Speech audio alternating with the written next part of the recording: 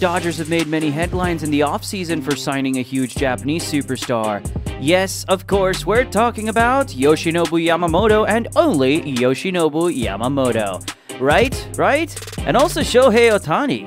Their spending in free agency amounts to over a billion dollars. And if it wasn't enough that this team already has Mookie Betts and Freddie Freeman in the lineup, What does this mean for baseball? The bright side is that everyone and their pet iguana will want to watch the Los Angeles Dodgers this year. That is welcome news for the MLB. The 2023 World Series was the least watched on record. You might be thinking, well, yeah, who wants to watch the Rangers play the frickin' Diamondbacks? True that, but the World Series and regular season have suffered sagging numbers for years now. The Dodgers, a massive market team with the biggest star in the game, will likely reverse that trend, especially if they win it all.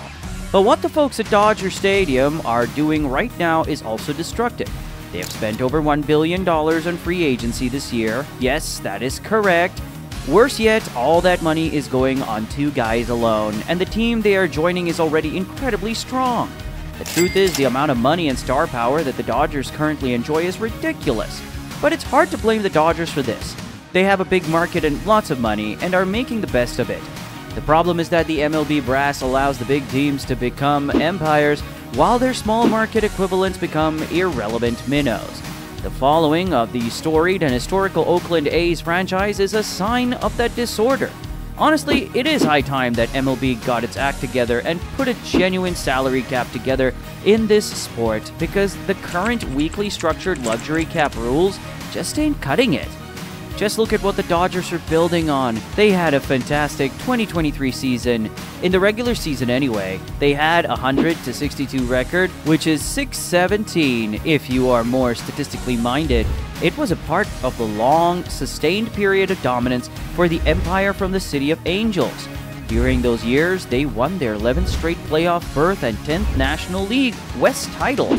But of course, that didn't do the trick in the playoffs. The Dodgers were stunned by the Arizona Diamondbacks and beaten 4 2 in a fairly lopsided division series.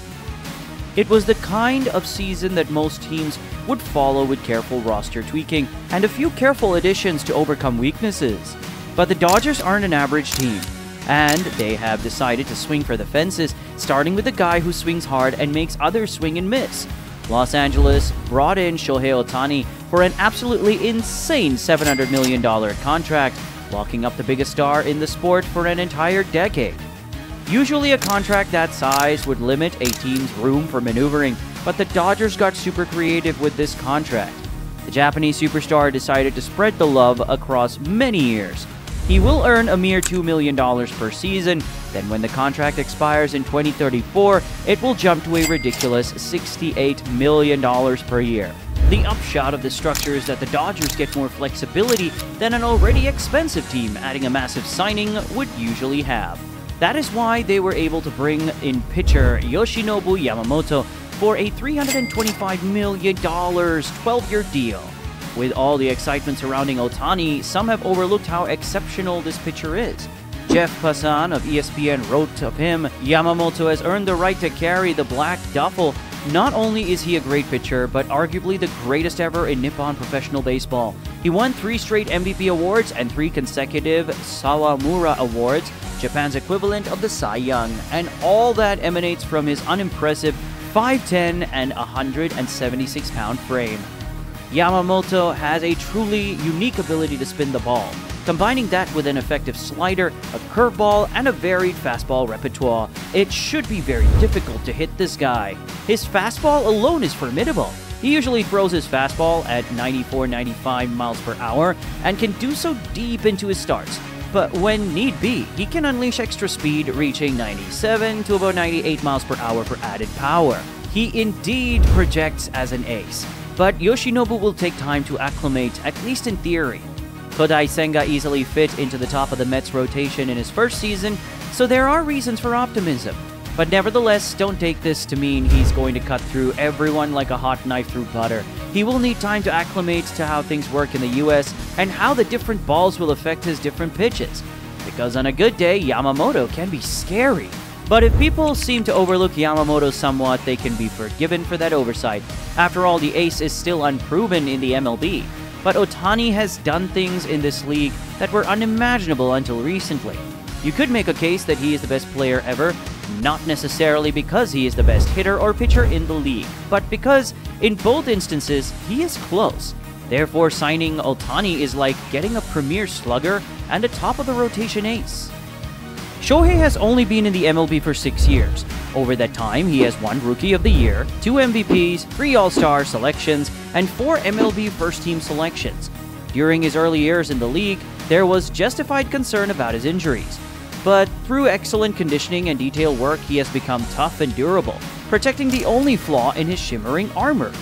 Sounds overblown? Well, it's hard to argue with the numbers. He has slammed 171 homers and 437 RBIs as a hitter in just six seasons.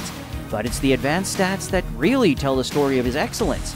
The best stat for understanding offensive contribution is the OPS plus measure, which compares players to the median league player.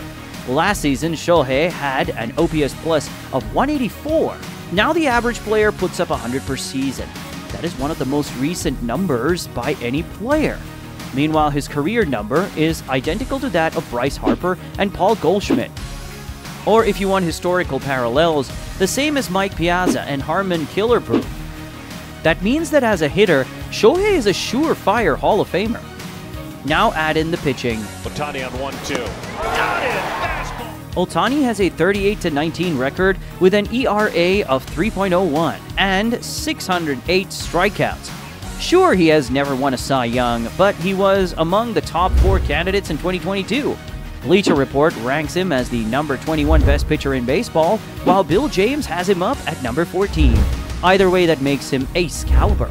While not necessarily enough for a Hall of Fame career on its own, you have to add that pitching excellence to his batting prowess to get Shohei's actual value. WAR, or wins above replacement, is the best stat for combining both metrics. Unsurprisingly, in two of the last three seasons, Ohtani led all of baseball in WAR. The one time he lost out was to Aaron Judge's phenomenal 2022 season, which saw him drop to second place and Shohei will be the favorite to lead the MLB in WAR every year for the foreseeable future because he's the best freaking player in baseball.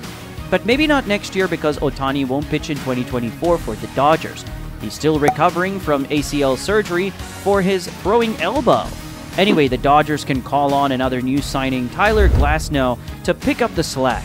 He has the tools you want from an ace, including an overpowering fastball approaching 100 miles per hour in speed. Additionally, he likes to strike batters out with a killer slide and a curveball that clocks in the mid 80s.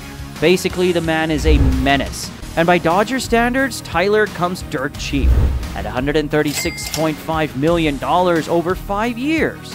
Overall, it feels like the Dodgers are trying to buy their way to another World Series. But these contracts will allow the team to compete for many years to come. It looks like the Dodgers are trying to build a dynasty rather than just win a title. However, things aren't going to be that easy. There are so many good teams in the league, and the Braves, Orioles, and Astros in particular come to mind. We don't know if the Dodgers' quest for dominance will pan out, but we know there will be plenty of drama surrounding Ohtani on the diamond. But Shohei is equally fascinating off the field. Check out our video on his fantastic lifestyle. Hint, it's nothing like you imagine.